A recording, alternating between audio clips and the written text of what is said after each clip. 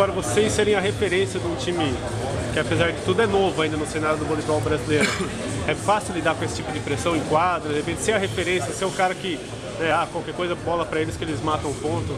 É, eu acho que a pressão sempre vai existir. Eu já joguei em time na Itália que o objetivo era não ser rebaixado e a pressão era tão grande quanto nós jogávamos quando jogávamos nesse time que buscava ser campeão. É, diferença é saber lidar com a vitória e com a derrota da melhor forma possível e da mesma serenidade.